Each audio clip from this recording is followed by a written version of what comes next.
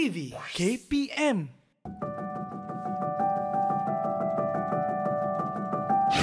Assalamualaikum dan selamat sejahtera semua murid. Bertemu kita pada kali ini untuk sama-sama mengulang kaji pelajaran. Tajuk pelajaran kita pada hari ini ialah jenis kata dan analisis kesalahan penggunaannya. Tajuk ini merupakan salah satu daripada cabang tata bahasa. Murid-murid sudah bersedia untuk memulakan pembelajaran pada hari ini? Jangan lupa ya, sediakan buku nota untuk membuat catatan. Kerana dengan adanya catatan, kita akan dapat membuat rujukan di kemudian hari. Pada hari ini, kita fokuskan kepada dua objektif pelajaran yang perlu dicapai. Pertama, dapat menggunakan kata tunggal, kata terbitan, kata majmuk dan kata ganda dengan betul untuk menghasilkan ayat yang gramatis. Objektif kita yang kedua dapat membanding beza ciri kata ganda dengan kata majmuk. Sebelum kita memulakan perbincangan dengan lebih jauh, terlebih dahulu kita perlu mengenal jenis kata yang ada dalam bahasa Melayu. Dalam bahasa Melayu, terdapat empat jenis kata iaitu kata tunggal, kata majmuk, kata ganda dan kata terbitan. Keempat-empat jenis kata ini mendukung peranan yang berlainan dalam sistem bahasa kita. Oleh itu, kita perlu kenal dengan empat jenis kata ini untuk memantapkan penguasaan bahasa kita. Ayuh murid-murid, kita berkenalan dengan empat jenis kata ini dimulai dengan kata tunggal. Definisi kata tunggal. Kata tunggal ialah perkataan yang tidak menerima sebarang imbuhan atau tidak mengalami proses penggandaan dan perangkaian. Kata tunggal terdiri daripada satu suku kata, dua atau lebih suku kata.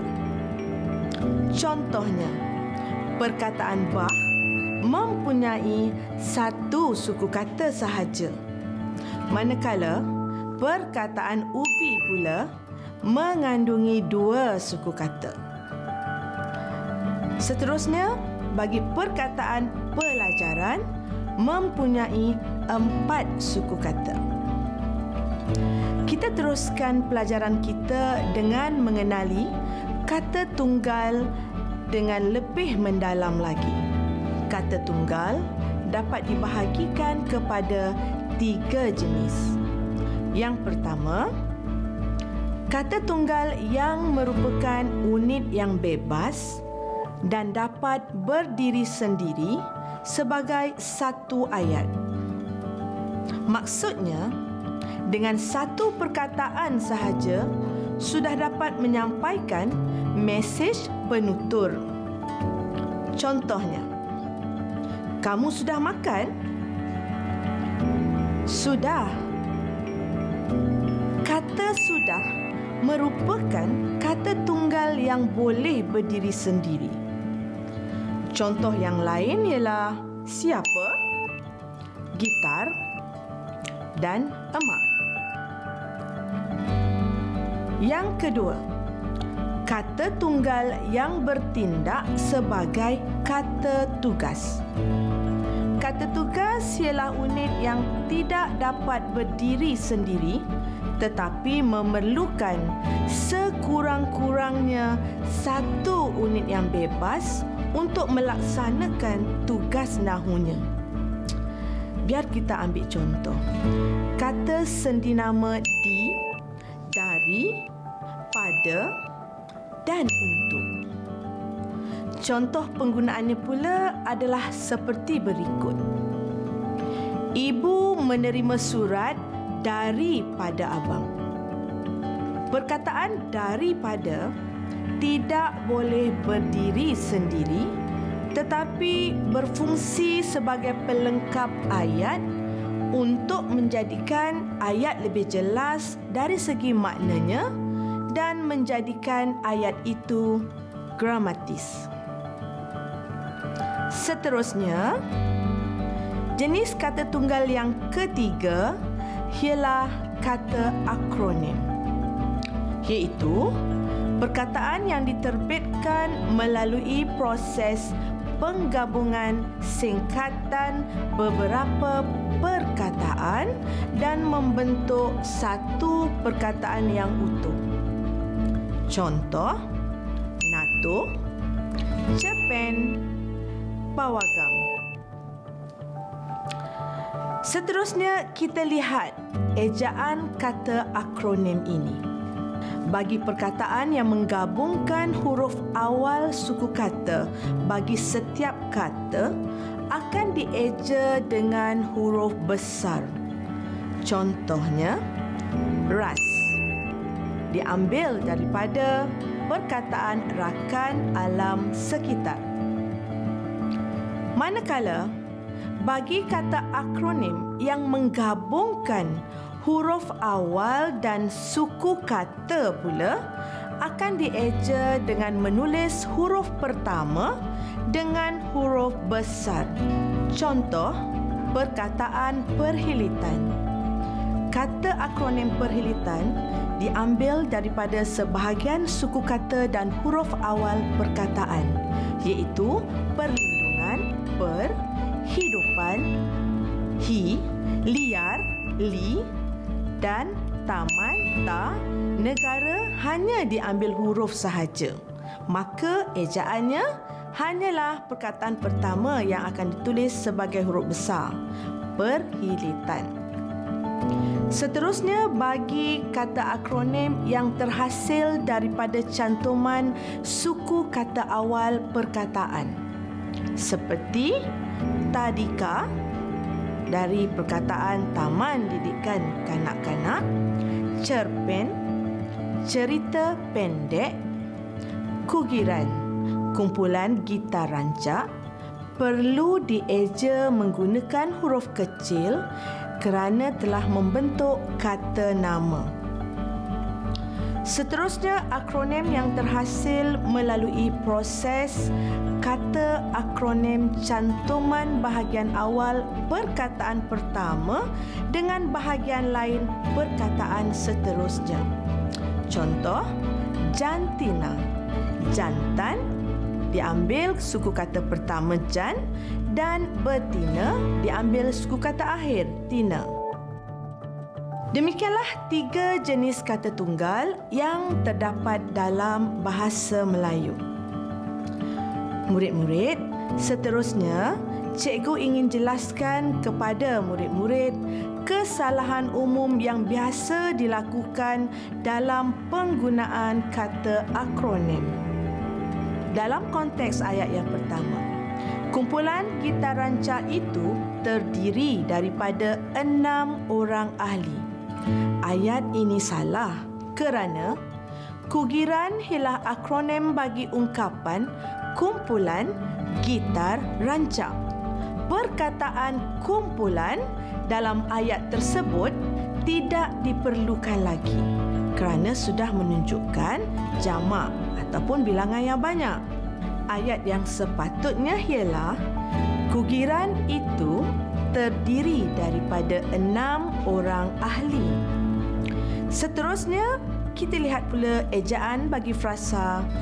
Frasa ini dieja salah kerana terdapatnya akronim yang terbentuk daripada cantuman huruf awal perkataan seperti ahli, dewan, undangan, negeri wajib dieja dengan huruf besar untuk setiap huruf pertama sekiranya jenisnya kata nama khas. Ejaan yang betul ialah A-D-U-N ditulis dengan huruf besar Adun, Zun, Daman, Sarah. Beralih pula kita kepada kesalahan penggunaan kata akronim yang seterusnya. Ejaan bagi perkataan aswara ini salah kerana aswara terbentuk daripada campuran huruf dan suku kata perkataan iaitu academic A, seni S dan warisan mengambil suku kata awal, negara mengambil suku kata akhir. Sekali lagi cikgu ulang. Untuk akronim yang terbentuk, hanya huruf pertama yang dieja huruf besar jika kata tersebut kata nama khas. Cikgu harap murid-murid jelas tentang cara mengeja kata akronim. Seterusnya, mari kita berkenalan pula dengan kata majmuk. Kita mulakan dengan definisi kata majmuk.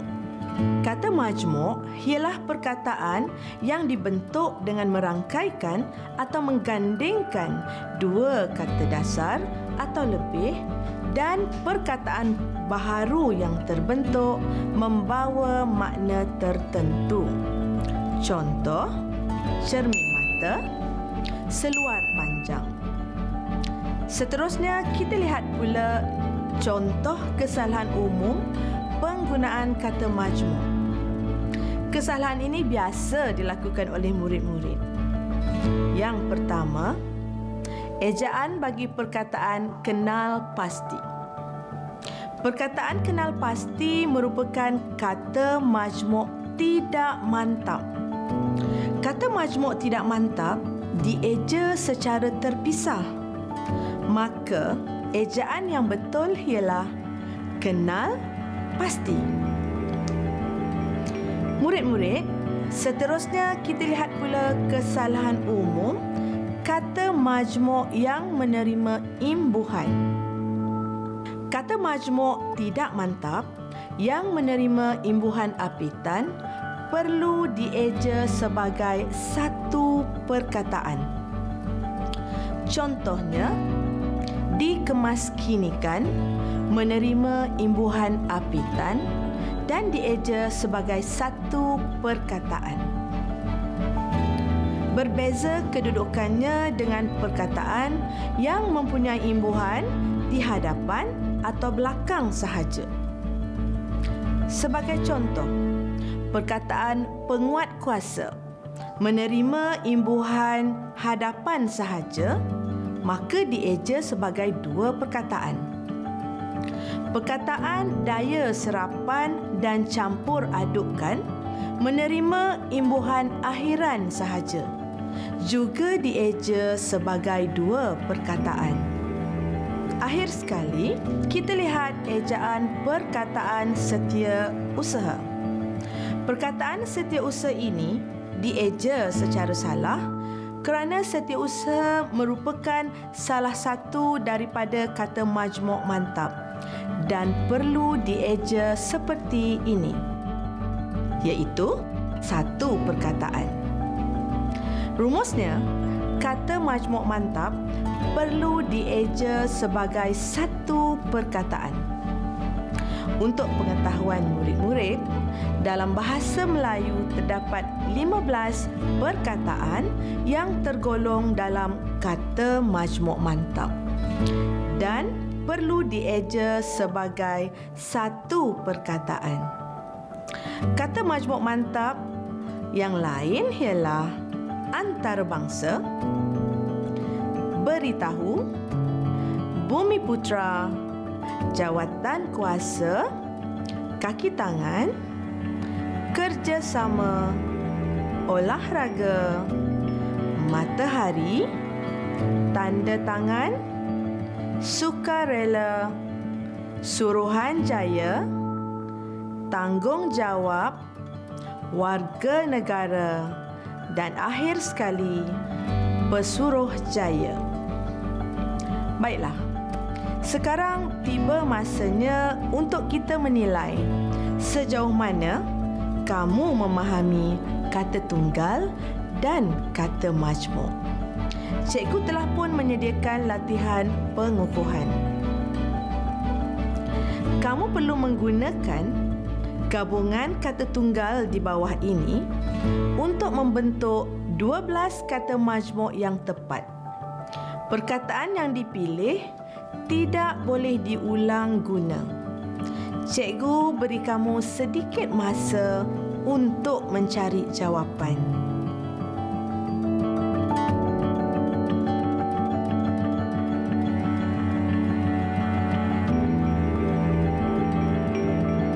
Baiklah murid-murid, mari sama-sama kita senaraikan kata majmuk yang berjaya dibentuk. Pertama, lintah darat. Kedua, medan perang. Ketiga, kitar semula. Keempat, topi keledar.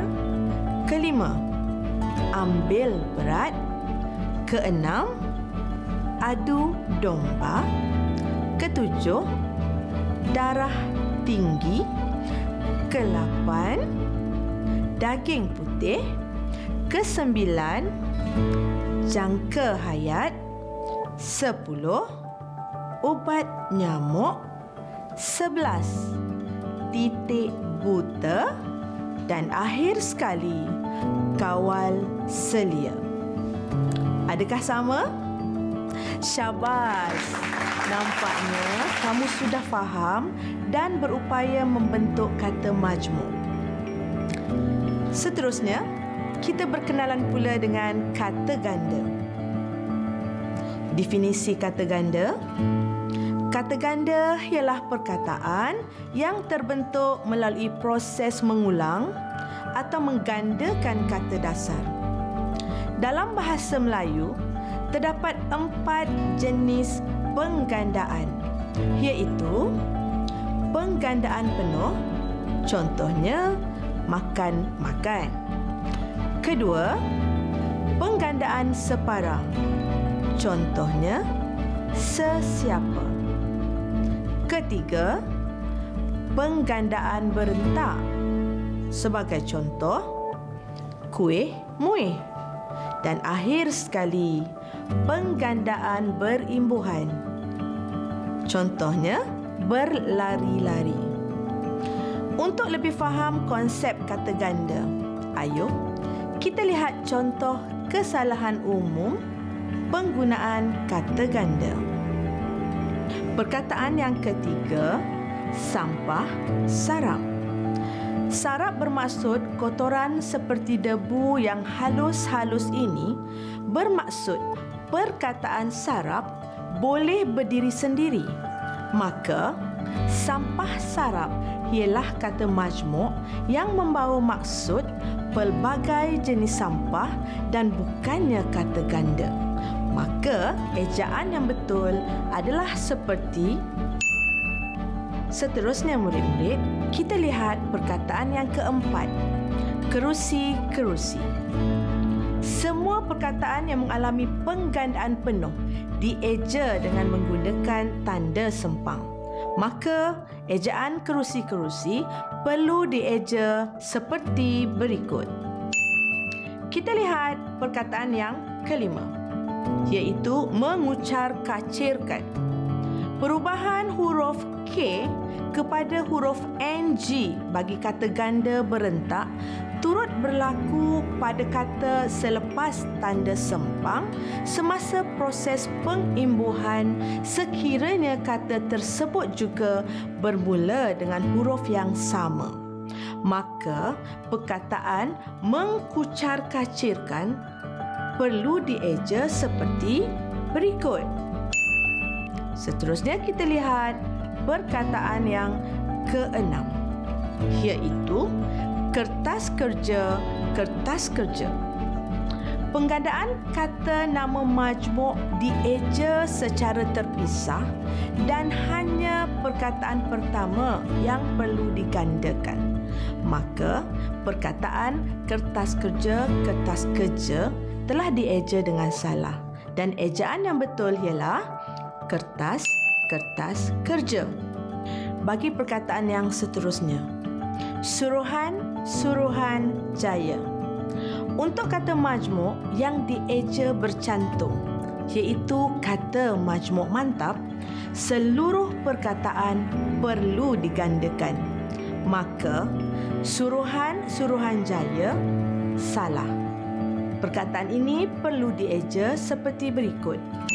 Suruhan jaya, suruhan jaya. Dan bagi perkataan yang terakhir, frasa daun-daun yang berguguran. Di sini terdapat kesalahan tata bahasa. Imbuhan beran sudah membawa maksud jamak iaitu banyak. Maka daun-daun tidak boleh digandakan. Frasa ini perlu dibetulkan seperti berikut. Daun yang berguguran. Baiklah, sekarang cikgu mahu kamu melihat dan mengkaji soalan pengukuhan dan cuba kenal pasti perkataan yang perlu digandakan dengan kata ganda yang tepat. Cikgu beri sedikit masa untuk murid-murid baca petikan dan cari jawapannya.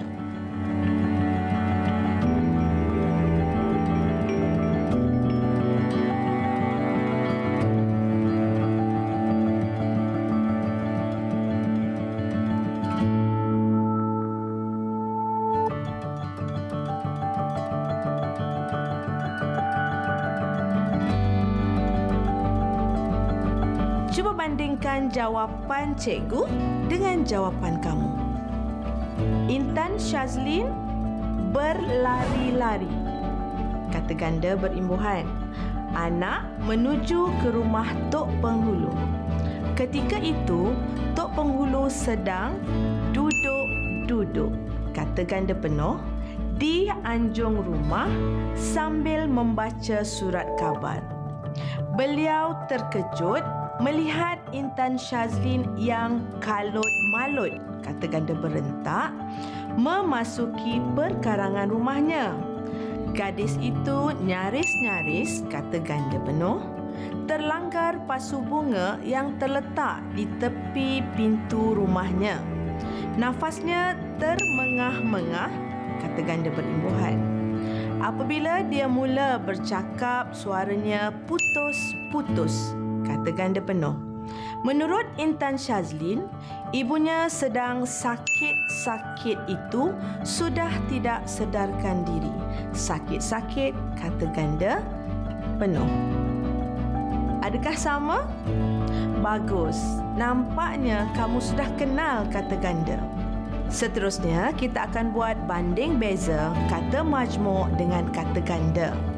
Murid-murid boleh melihat perbezaan dan persamaan kata majmuk dan kata ganda seperti yang tertera dalam jadual ini.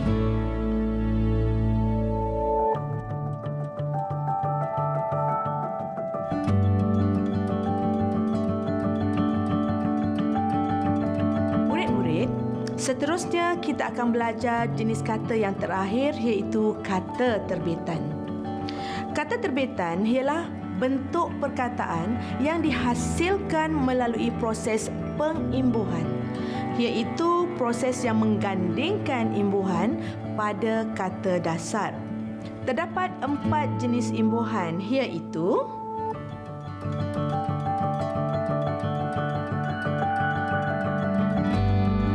Ketepatan penggunaan imbuhan kepada kata dasar bergantung kepada konteks ayat. Mari kita lihat contoh-contoh kesalahan penggunaan kata terbitan. Ayat pertama, daun kelapa di tepi pantai itu kelihatan melambai-lambai apabila ditiupi angin pada waktu petang. Ayat ini mengandungi kesalahan imbuhan kata kerja pasif ditiupi. Perkataan ini tidak memerlukan imbuhan apitan di dan i kerana imbuhan kata kerja pasif di sudah memberikan makna yang tepat iaitu yang berasal daripada kata kerja aktif meniup dan bukannya meniupi. Ayat kedua pula, Mak Minah sedang memberikan kucingnya makanan berupa biji rin. Penggunaan kata memberikan salah kerana perkataan tersebut membawa maksud menyerahkan sesuatu. Hal ini bermaksud objek kepada kata kerja memberikan mestilah merupakan benda atau perkara dan bukannya penerima iaitu objek bernyawa. Oleh hal yang demikian, perkataan memberi mesti digunakan kerana objek yang berikutnya ialah kucing merupakan penerima objek bernyawa. Maka pembetulannya ialah Mak Minah sedang memberi kucingnya makanan berupa bijirin. Ayat yang ketiga pula, kerja-kerja memperlebarkan jalan di kampung saya sedang giat dijalankan. Kata adjektif tidak boleh menerima imbuhan apitan memperkan. Contoh kesalahan lain adalah seperti mempercepatkan, memperbesarkan, mempercantikkan dan sebagainya. Perlu juga ditegaskan bahawa imbuhan per membawa makna lebih iaitu memperlebar bermaksud menjadikan sesuatu lebar. Maka dalam ayat ini memperlebarkan salah dan yang betul ialah memperlebar atau melebarkan. Ayat yang betul, kerja-kerja memperlebar jalan di kampung saya sedang kiat dijalankan. Baiklah murid-murid, bagi melihat penguasaan murid-murid dalam kata terbitan, kita cuba jawab soalan pengukuhan berikut cikgu bagi sedikit masa kepada murid-murid ya untuk mencari jawapan.